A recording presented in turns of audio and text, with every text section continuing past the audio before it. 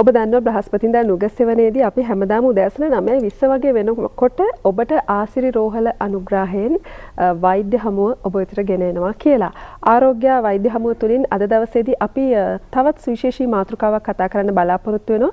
ඒ තමයි කාන්තාවන් ගැන. කාන්තාවන් ගැන අද අපි මේ කතා කරන මාතෘකාව පිරිමි ඔබ දැනගෙන සිටිය යුතුම මාතෘකාවක් කියලා වෛද්‍යතුමා අතින් මට කියවුණා. ඉතින් ඇයි එහෙම කියන්නේ කියන කාරණාව මම ඔබට ඉදිරියේදී සඳහන් කරන්නම්. අද අපි කතා කරන්නේ කාන්තාවන් වයස අවුරුදු 40න් පස්සේ හෝ 50න් පස්සේ මුහුණ දෙන මේ ආර්තව හරණය කියන මාතෘකාව. මේක රෝගයක්ද? මේකට අපි මුහුණ දෙන්නේ කොහොමද? කාන්තාවක් විදිහට. ඔබ සූදානම් විය යුත්තේ කොහොමද? ඕනෑම කාන්තාවක් ජීවිතේදී එක්තරා අවස්ථාවකදී මුහුණ දෙන අංගයක් මේක. ඒ නිසා අපි මේ පිළිබඳව නිසි දැනුවත් භාවය ලබා තිබීම අපිට ඉදිරියට හොඳ ජීවන රටාවක් අනුගමනය කිරීමට හේතුකාරක වෙන නිසාමයි අද දවසේදී අපි මේ ගැන කතා කරන්නට හිතුවේ.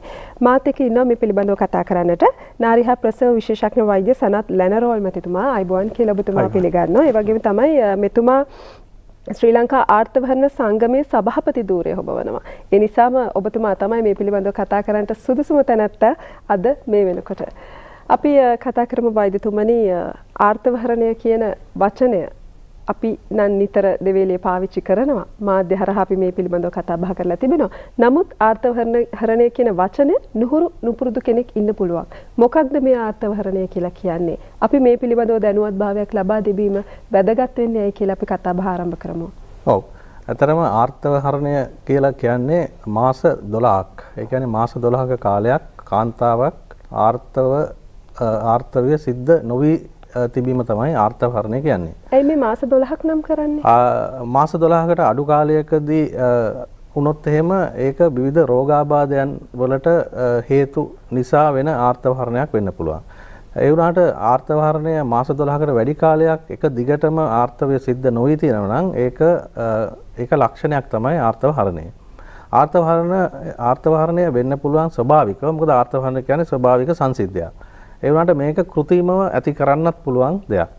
සාමාන්‍යයෙන් අපි කිව්වොත් එහෙම දැන් මාස 12ක කාර්යවහරණය වෙන්නේ නැහැ කියලා අපි ගත්තොත් ගැබ්ගත් කාන්තාවක් ගර්භණීතාවෙන් පසුව ඒ දරුවා ප්‍රසූත කරාට පසුවත් මාස 12ක් විතර ආර්ථවය සිද්ධ වෙන්නේ ඒ වගේ කාන්තාවන් මේකට අයිති වෙන්නේ නැහැ. ගැබ්ගත් කාන්තාවන් එහෙම නැත්නම් ඖෂධ භාවිතා කරන කාන්තාවන් ඖෂධ නිසා ආර්ථවහරණය වෙච්ච කාන්තාවන් ඉන්නවා.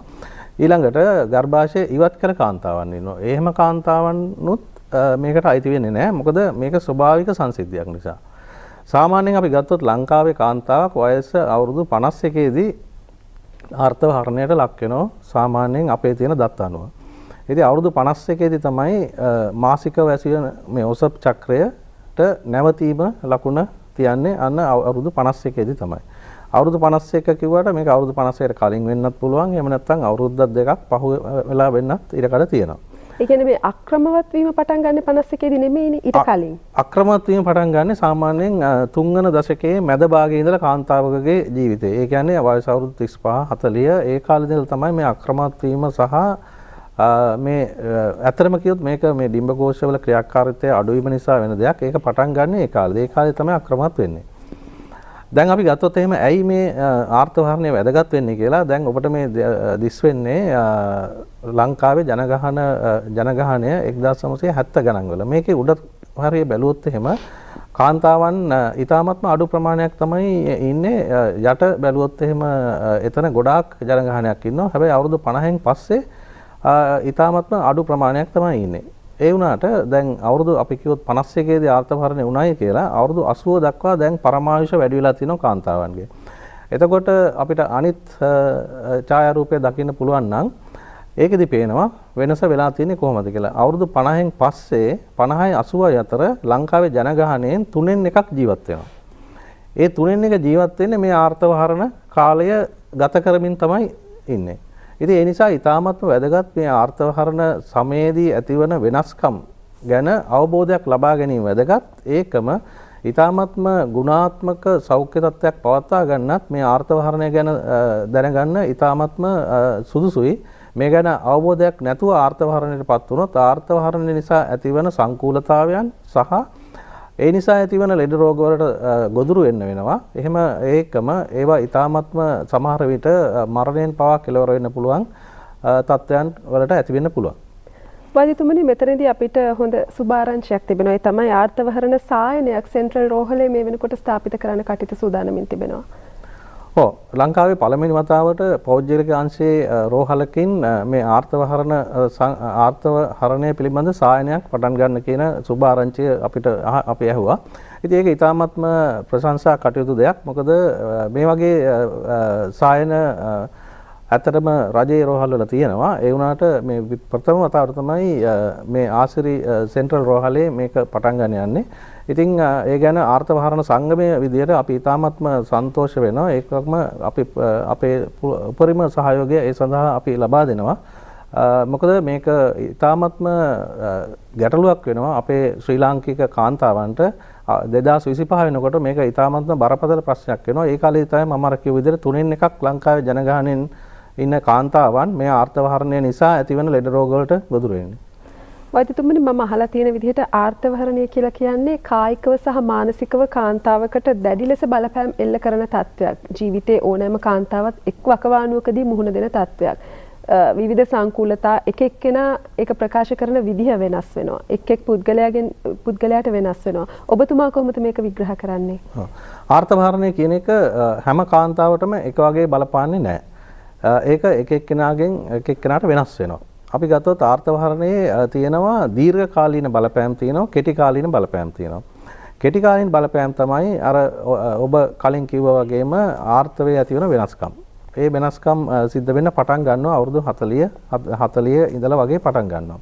ඊළඟට අවුරුදු 50 විතර වෙනකොට ඊ타මත්ම අධික ලෙස දහඩිය දාන්න පටන් ගන්නවා.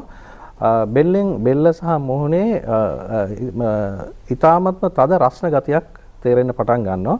මේ දහඩිය දැමීම කොච්චර කොච්චර දරුණුද කිව්වොත් එහෙම සමහර විට බාත්රූම් එකේ ඉන්නකොටත් නාලා ඉවර වෙනකොටත් පටන් ගන්නවා මේ දාඩිය දාන එක. ඊළඟට මේ හැම හමේ ඇතිවන තත්ත්වයන් හැම වියලෙන්න පටන් ගන්නවා. අපි මේ දකින්නේ අපි මේ දකින්නේ එක හැමේ හැමේ තියෙන අර හැමේ තියෙන සෞඛ්‍ය සම්පන්න ගතිය ඒක ඒක අඩු වෙලා ගිහිල්ලා ඉලාස්ටිසිටි කියන එක අඩු වෙනවා. අඩු වෙලා හැම රැලි වැටෙන්න පටන් ගන්නවා. ඇස්වල රෝගාබාධ එනවා. තරමක වයස් ස්වරූපයක් තරමක වයසක ස්වරූපයකට පත් වෙන්න පටන් ගන්න ඇත්තටම මේ මේ කාලේ තමයි පටන් ගන්නේ. ඊළඟට මම කිව්වා අර අර ඊටමත් දීර්ඝකාලීන බලපෑම් මේ කෙටි කාලීන බලපෑම් මම කිව්වේ දීර්ඝකාලීන බලපෑම් ගොඩක් තියෙනවා. දැන් අපිට පෙන්වන්න පුළුවන් අස්තිවල ඇතිවන වෙනස්කම්.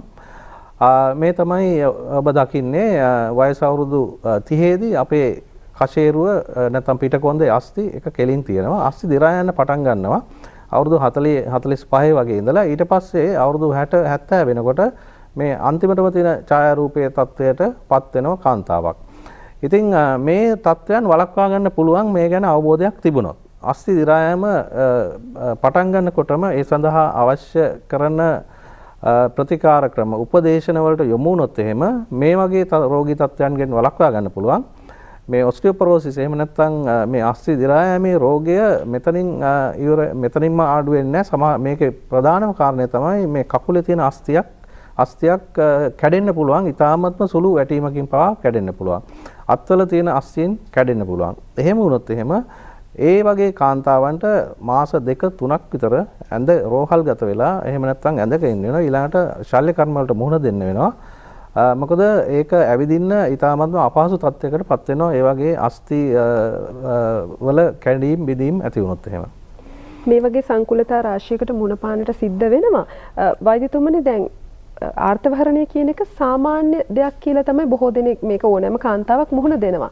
හැබැයි ආර්ථවහරණය සමහර අයට ඉතා පීඩාකාරී වේදනාවත් එක්ක මේක වෙනත් රෝගී තත්ත්වයක්ද කියලා සැක හිතෙන තරමට මේක දරුණු වෙනවා. එතකොට ප්‍රතිකාර සඳහා යොමු විය යුතු අවස්ථා මොනවද?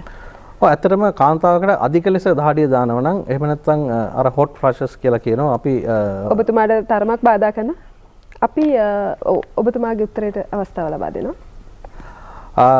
ඉතාමත්ම අධික ලෙස දහඩිය දානවා නම් ඊළඟට රැයට නිින්දයක් නැතිකමක් තියෙනවා නම් මතක ශක්තිය අඩු වෙන ගතියක් තියෙන්න පුළුවන්. ඉතින් මේ වගේ මේ වගේ තත්ත්වයන් තියෙනකොට අපි වෙලා බලලෙමු. නැවතත්. ඔව්.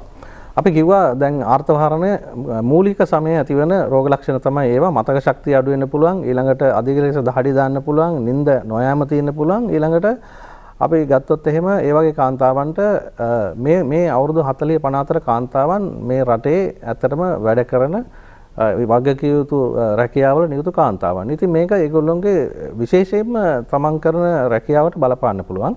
ඒ පළවෙනි එක. දෙවෙනි එක තමන්ගේ පෞල් ජීවිතයට මේක බලපාන්න පුළුවන්. ගෙදරදී ප්‍රශ්න ඇති වෙන්න ගොඩක් ප්‍රශ්න ඇති වෙනවා. ඉතින් ඒ නිසා මේ මේ ගැන අවබෝධයෙන් ඉඳලා නිසි ප්‍රතිකාර කරා යොමු වුණොත් මේ රෝගී තත්ත්වයන් මේකට ඖෂධ තියෙනවා. ඖෂධ මගින් මේව පාලනය කරන්න පුළුවන්. එහෙම වුණොත් මේ වගේ ඇතිවන සංකූලතාවයන්ගෙන් සංකූලතාවයන් අඩු කරගෙන තමන්ට ඊ타මත්ම සෞඛ්‍ය සම්පන්න ජීවිතයක් ගත කරන්න පුළුවන්. දැන් ඔබතුමා සඳහන් කර ආර්ථවහරණය හරහා මරණය දක්වා යන අවස්ථා තියෙනවා කියලා. ඒ මොන වගේ අවස්ථාද? ඒ පිළිබඳව දැනුවත් වුණොත් කෙනෙක් ඒ සම්බන්ධයෙන් ප්‍රතිකාර ගන්න යොමු වෙයි. නැත්නම් මේක සාමාන්‍ය තත්ත්වයක් කියලා ගෙදෙට්ට වෙලා ඉන්නත් පුළුවන්. ඔව් අපි ගත්තොත් එහෙම ආර්ථවහරණයේදී මම කිව්වා ඔස්ටියෝපොරොසිස් රෝගය නිසා මේ කකුලේ අස්තියක් කැඩෙන්න පුළුවන්. අස්තියක් කැඩුණොත් ඒ කාන්තාව රෝහල්ගත වෙලා ඇඳ ඇඳක හිටියොත් එහෙම කාලයක් ඒ වගේ කාන්තාවන්ට හාට් අපි ගත්තොත් එහෙම හෘදයාබාධ හැදෙන්න තියෙන හැකියාව මේ ආර්ථවහරණ සමයේදී වැඩි. ඊළඟට ගත්තොත් එහෙම රුධිර කැටි ඇති වෙන්න තියෙන තත්වයන් රුධිර නාලවල ඊ타ත්ම අධික ප්‍රවණතාවයක් තියෙනවා මේ වගේ කාන්තාවන්ට. ඉතින් මේ වගේ ඊළඟට දියවැඩියාව කියන රෝගය ඇති වෙන්න තියෙන ප්‍රවණතාවය මේ ආර්ථවහරණයේදී වැඩි. මේ මේ රෝගී තත්ත්වයන් තුන හතරම එකට આવොත් එහෙම ඇත්තටම වෙන්නේ ස්ථූලතාවයත් ලොකු ප්‍රශ්නයක්. ඊළඟට ස්ථූලතාවය. අපි දැන් දකිනවා මේ දකුණු පැත්තේ තියෙන ඡායාරූපයෙන් අවුරුදු 20ක 30ක විතර කාන්තාවක් අනිත් පැත්තෙන් තියෙන්නේ අවුරුදු 40 54 වෙනකොට. අපි දකිනවා මේ උදරය ප්‍රදේශයේ තියෙන තියෙන තෙල් තැන්පත් වීම තමයි ආර්තවහරණයේදී වැඩි වෙන්නේ. ඉතින් මේ උදරය තියෙන තෙල් තත්ත්වය තෙල් තියෙන තත්ත්වය වැඩි වුණාට පස්සේ මොකද වෙන්නේ? ගොඩක් රෝගාබාධ වලට ඒ තැනත්තා ගොදුරු වෙනවා. විශේෂයෙන්ම අධික රුධිර පීඩනය එහෙම නැත්නම් මෙටබොලික් සින්ඩ්‍රෝම් කියලා කියනවා. ඊළඟට දියවැඩියා රෝගයට ගොදුරු වෙන්න තියෙන අවදානම වැඩි වෙනවා. ඉතින් මේ වගේ ගොඩක් සංකුලතා මතුවෙන නිසා ඔබ මේ පිළිබඳව දැනුවත්ව සිටීම ඉතාමත්ම වැදගත් කියන පණිවිඩය තමයි අපි අද දවසේදී ඔබට ගෙනාවේ. ආසිරි සෙන්ට්‍රල් රෝහලේ මේ වෙනකොට ස්ථාපිත වෙලා තිබෙනවා ආර්ථවහරණ සායනය. ඔබට ඒ සඳහා සහභාගී වෙන්න සහ ඒ පිළිබඳව විස්තර දැනගන්නට අවශ්‍ය නම් මම මතක් කරන්නම් ලිපිනය ආසිරි සෙන්ට්‍රල් රෝහල නොම්බර 114 නොරිස් කැනල් පාර කොළඹ 10 කියන ලිපිනය.